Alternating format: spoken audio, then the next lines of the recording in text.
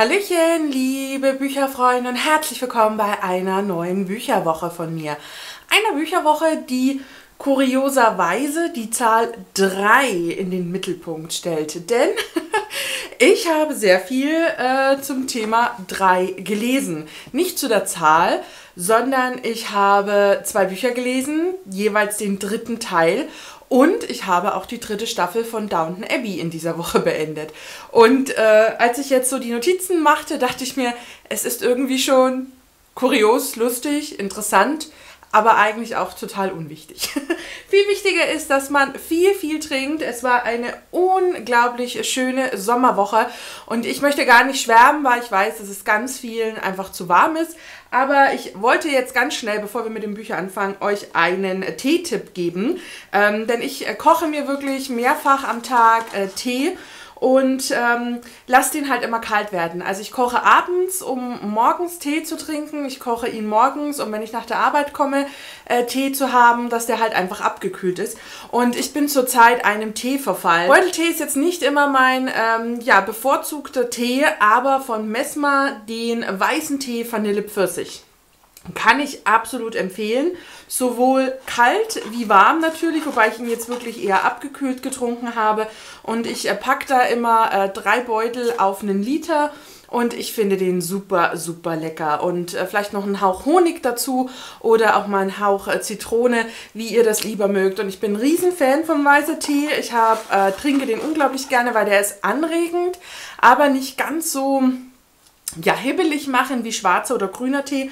Und ich glaube, weißer Tee ist ja auch eigentlich grüner Tee, der nur viel früher ähm, ja, geerntet wird. Äh, kann ich absolut empfehlen, wird jetzt von mir auch in dieser Woche nachgekauft, weil ich den toll finde. Und der befindet sich auch gerade in meiner Flasche und zu der werde ich jetzt, denke ich, auch immer mal ein bisschen greifen. Ja, eine sommerliche Woche, die buchtechnisch wirklich sehr, sehr gelungen war.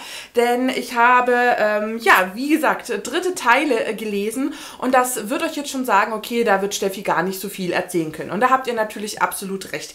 Ich packe äh, die Bücher wie immer unten in die Infobox Infobox und packe euch auch die Bücherwochen zu den vorangegangenen Teilen nach unten. Guckt da also gerne mal äh, vorbei, schaut euch um und äh, ja, findet ihr alle Informationen. Das erste Buch, was ich äh, ja dann irgendwie beendet habe diese Woche, wobei ich jetzt eigentlich beides am Sonntag beendet habe, ist äh, ja der dritte Teil der Bobbyverse-Reihe äh, Alle diese Welten von Dennis E. Taylor. Das habe ich als Hörbuch gehört und äh, ja, war sehr angetan. Auch ging es jetzt endlich mit Aragon weiter. Der dritte Teil die Weisheit äh, des Feuers von Christopher Paolini. Äh, ich hatte ja jetzt eine Woche äh, pausiert und äh, ja, habe jetzt aber den dritten Teil äh, beendet. Und äh, ja, das war's, glaube ich, schon an Büchern. Ja, ich habe am Sonntag noch mit einem Hörbuch begonnen, aber ähm, ja, da habe ich noch nicht sehr viel gehört. dementsprechend ähm, ja, kann ich natürlich noch gar nicht viel erzählen. Aber das sind die beiden Bücher der Woche. Und wer jetzt denkt, oh Steffi, nur zwei Bücher, nur zwei Bücher, äh, ja, wenn eins fast 1000 Seiten hat, ich glaube 950, nein, sogar 980 Seiten, dann ähm, ja, gilt das ja schon fast als zweieinhalb Bücher. Aber ja, ich war auf jeden Fall sehr fleißig, habe viel... Ähm, ja, draußen natürlich auch äh, gelesen und es war richtig, richtig gut. Ja, wir beginnen einfach wie immer ein bisschen chronologisch, obwohl man das jetzt, wie gesagt, bei der Bücherwoche gar nicht so sagen kann, weil ich beide eben zur gleichen Zeit eigentlich äh, beendet habe, beziehungsweise am äh, gleichen Tag. Ich muss ja mal kurz schauen, meine Katze ja, hat hier meine neue Pflanze entdeckt und, ähm, aber gut, äh, sie wird sie nicht gleich wieder umrennen, aber es wäre bei einer 1,50 Pflanze vielleicht. Ja, sie wird es irgendwie hinkriegen. Äh, ja, der, das erste Buch ist äh, das Hörbuch äh, der Woche Alle diese Welten von Dennis E. Taylor. Es handelt sich hierbei um den dritten Teil der Bobby-Verse-Reihe und wir haben hier humorvolle Science Fiction. Und ich war ein riesen, riesen Fan der Idee des ersten Teiles. Ich fand den ersten Teil großartig. Ich habe den absolut gefeiert.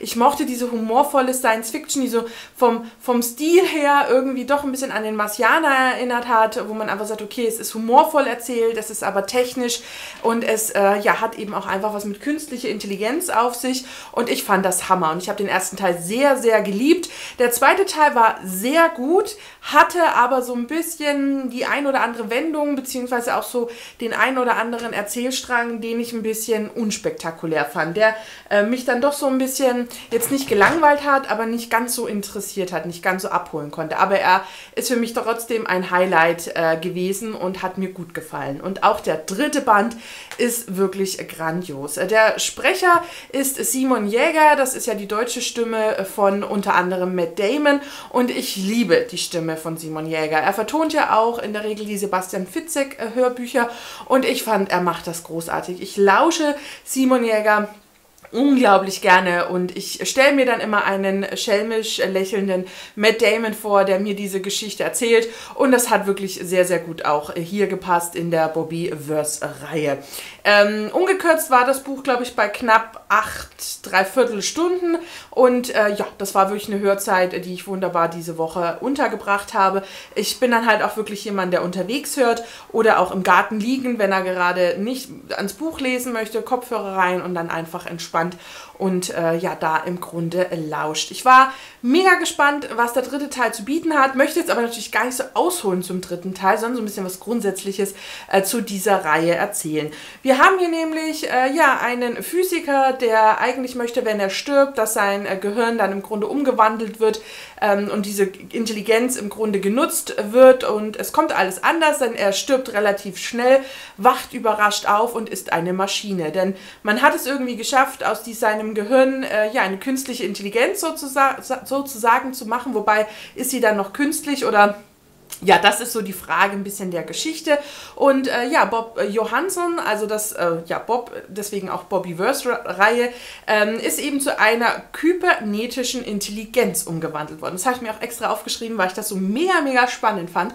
Und es gab dazu ja auch mal einen ähnlichen Film mit Johnny Depp, ähm, der so eine ähnliche Richtung ging, was ich einfach Hammer find, finde. Und äh, ja, Bob äh, kann sich auch selbst klonen, reproduzieren und hat dann eben immer einen Bob und äh, zu unterschiedlichen Zeiten kommen eben die anderen Bobs dazu und äh, die entwickeln sich vielleicht auch einfach anders, denn jeder ähm, macht aus seinem Selbst eben irgendwie was anderes. Und das ist mega grandios erzählt. Es war super lustig in Teil 1 und äh, diese kleinen Abweichungen und dann haben die so Insider-Witze und irgendwann lacht man über diese Insider mit, weil man sie eben auch einfach kennt. Und ja, es ist großartig. Ja, die, die Welt steht so vor dem Abgrund. Der Weltraum soll äh, ja im Grunde äh, kolonialisiert werden, beziehungsweise soll sich umgesehen werden im Weltraum, wo die Menschen unterkommen können. Und so, äh, ja, steuert er im Grunde ein Raumfahrzeug, beziehungsweise bauen alle Bobs das auch weiter und steuern das auch gemeinsam und entwickeln es weiter.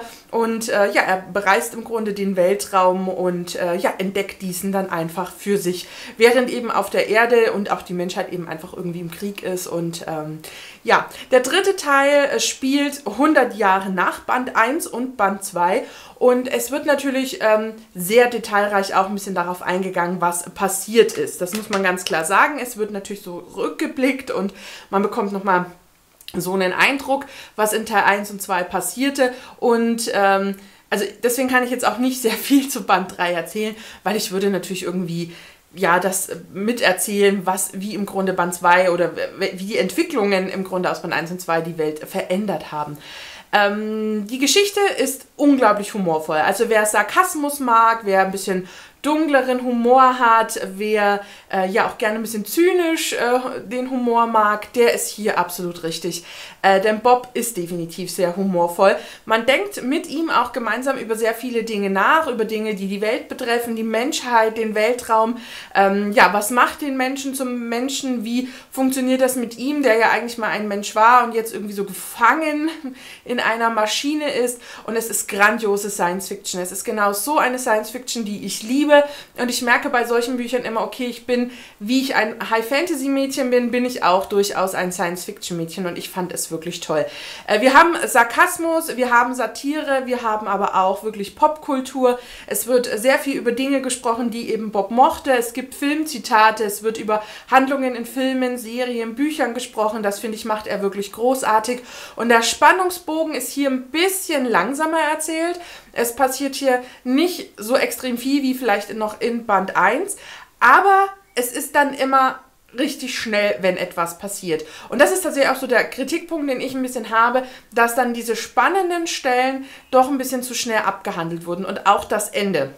Mir persönlich viel zu schnell gegangen ist. Für mich ist diese Reihe aber grandios. Ich habe sie äh, geliebt.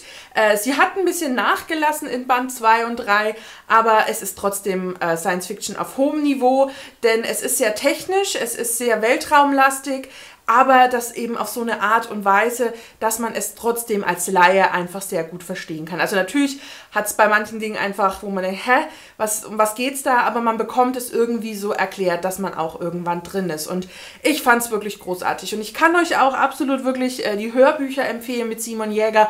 Ich finde, er vertont es wirklich hammermäßig gut.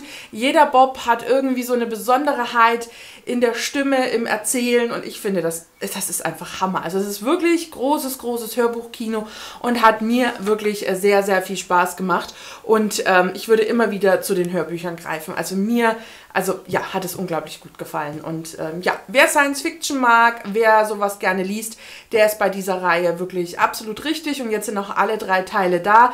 Äh, soweit ich jetzt gesehen habe, ist jetzt nicht mehr weiter was geplant. Auch jetzt äh, das Ende des dritten Teils ist, da braucht es im Grunde nichts mehr. Ähm, ich bin aber sehr gespannt, ob von Dennis E. Taylor nochmal was anderes kommt und werde den Namen auf jeden Fall im Hinterkopf behalten.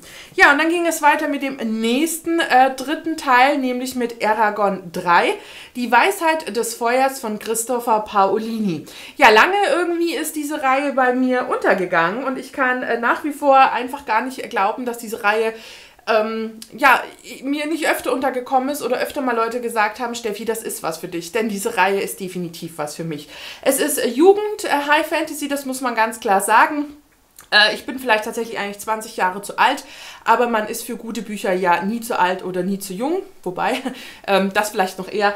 Ähm, ja, ich habe ja den ersten Teil äh, in Leipzig gekauft, in der Neuauflage, die mir auch, äh, ich hole sie euch mal, die mir auch wirklich äh, von der Aufmachung äh, besser gefällt. Also das ist natürlich der erste Teil, das ist der dritte. Ähm, ich mag tatsächlich diese Neuauflage vom, vom Aussehen ähm, viel, viel lieber. Also hier kann man nochmal alle vier, Teile sehen und das müsste ja dann hier äh, ja, der dritte sein, theoretisch.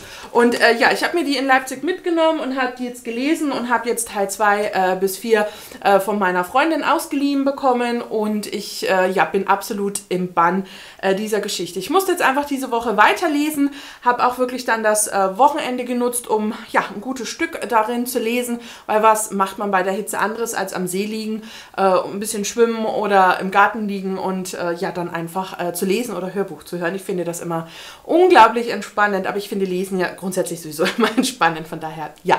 Äh, ich kann natürlich jetzt hier auch zum ersten, also zum dritten Teil nicht allzu viel verraten. Ich packe euch mal meine Bücherwoche zu Teil 1 und 2 unten in die Infobox. Es ist ja noch relativ aktuell, es war jetzt vor zwei Wochen, dass ich drüber sprach. Ähm, der dritte Teil, muss man ehrlich sagen, ist für mich so ein bisschen der langsamste und schwächste Teil bisher während mich Band 1 und 2 wirklich absolut gepackt haben, begeistert haben. Ich habe ja auch beide in einer Woche weggesuchtet. Das kann man ja gefühlt gar nicht mehr anders äh, ausdrücken. Ähm, muss ich hier sagen, hatte ich schon so die ein oder andere Länge, wo ich dachte, puh, ja, jetzt mach mal wieder äh, weiter. Das muss man ganz klar sagen. Um, um, was geht es grob in Aragon? Also es geht äh, ja um eine High-Fantasy-Welt, in der äh, die Drachenreiter samt Drachen irgendwann verschwunden sind. Und wir treffen eben auf Aragon, einen äh, jungen jungen Mann, naja, wobei er ist wirklich noch ein Jugendlicher, 15, 16, glaube ich, wenn die Geschichte anfängt. Und äh, sein Onkel wird äh, ja von den Schagen äh, des aktuellen Herrschers äh, umgebracht und äh, er will Rache nehmen. Gleichzeitig auch äh, treffen wir auf seinen Cousin, der ja ebenfalls diese Rachegelüste hat. Und bei Aragorn schlüpft aber dann ein Drachenei und man findet heraus, dass eben Aragorn der nächste neue Drachenreiter ist und ja, wie diese Welt mit Drachenreitern, Drachen eben ähm, ja, funktioniert. Und wir haben eben dieses große Böse, den aktuellen Herrscher, der äh, ja eben auch irgendwann mal von der guten Seite zur bösen Seite geswitcht ist. Und wir haben hier eben Kämpfe, Kriege, wir haben Freundschaft, wir haben so ein bisschen Liebe. Und ähm, ja, das eben alles in einem äh, Buch und oder in vier Büchern, wenn man so möchte eine große High-Fantasy-Welt, die wirklich wahnsinnig gigantisch ist, die toll erzählt ist, die wirklich überzeugende, bildhafte ja, Elemente hat, dass man wirklich den Eindruck hat, man ist mit Aragorn in dieser Welt. Wir lernen so viel über Zwerge, Elfen, die Menschen, die Drachenreiter, die Drachen. Wir äh, lernen Saphira kennen, das ist äh, der Drache oder die Drachin, Gibt es einen weiblichen Drachenbegriff? Nein, ich glaube nicht. Ähm, ja, Saphira, die eben äh, auch eine ganz spezielle Kommunikation mit Aragorn hat, was ich großartig finde.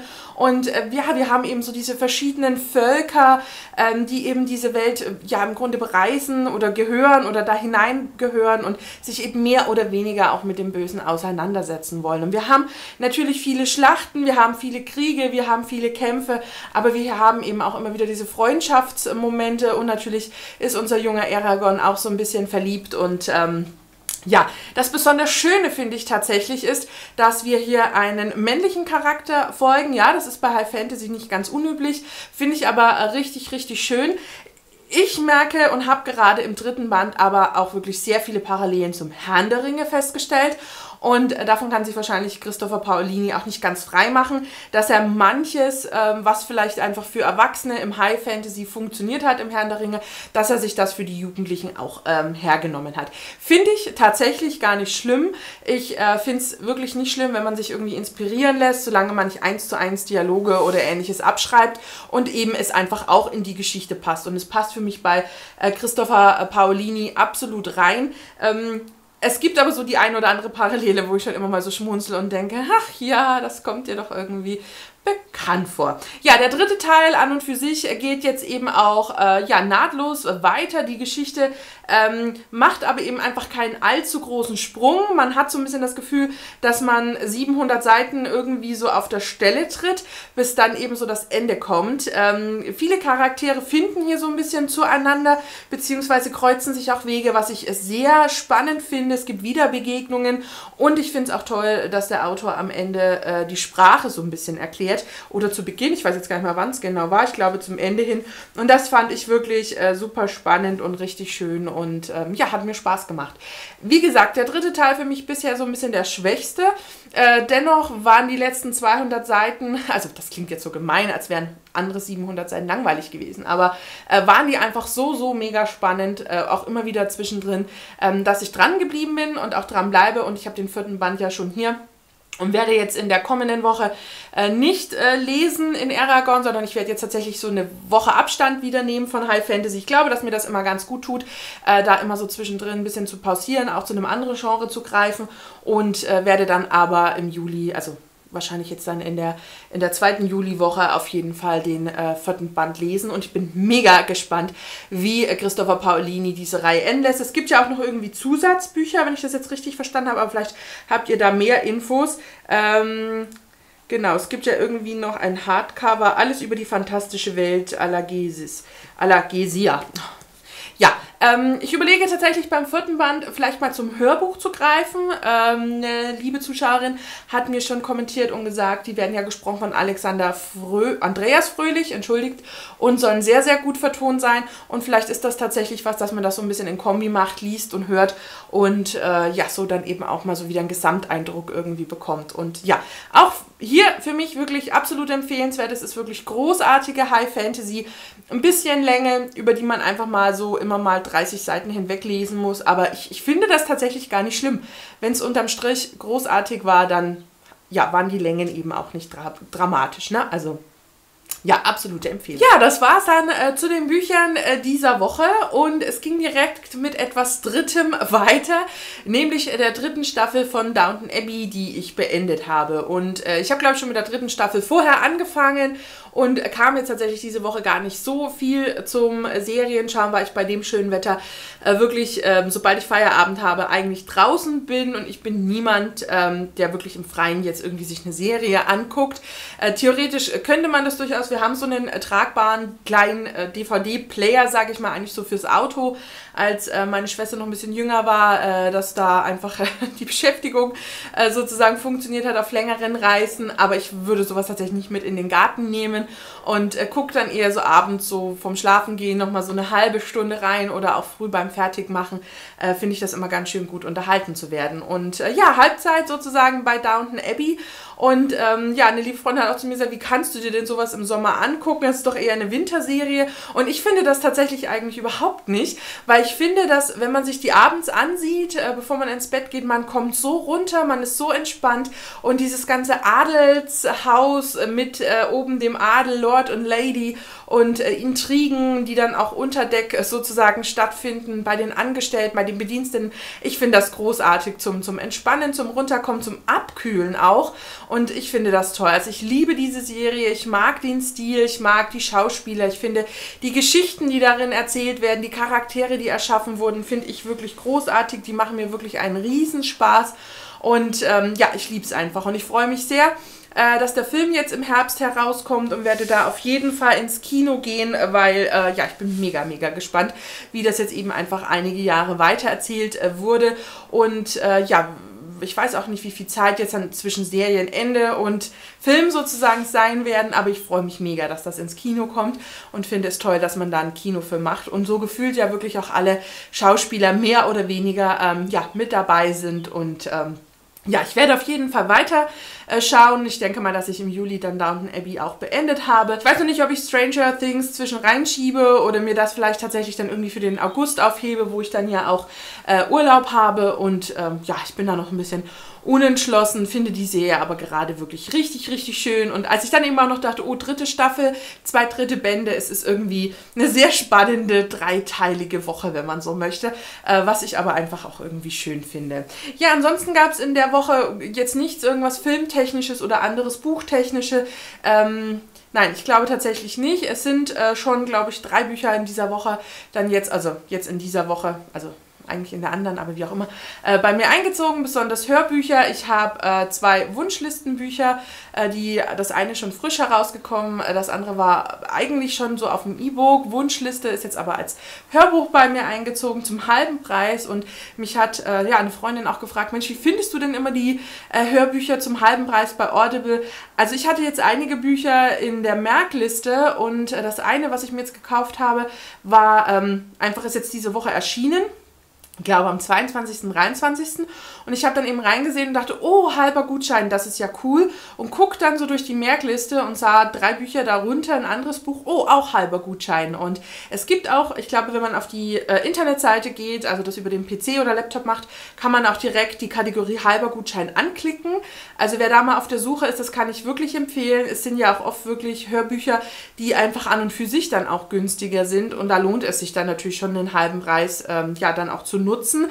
Ähm, es sind auch manchmal Hörbücher einfach an und für sich reduziert oder mal für einen kurzen Aktionszeitraum. Man bekommt ja auch manchmal so drei Guthaben für zum Beispiel nur 25 Euro anstelle ja sonst 30. Also guckt euch da einfach mal um, wenn ihr Audible habt. Ich äh, verlinke auch mal so einen Probemonat unten in die Infobox. Schaut da einfach mal vorbei.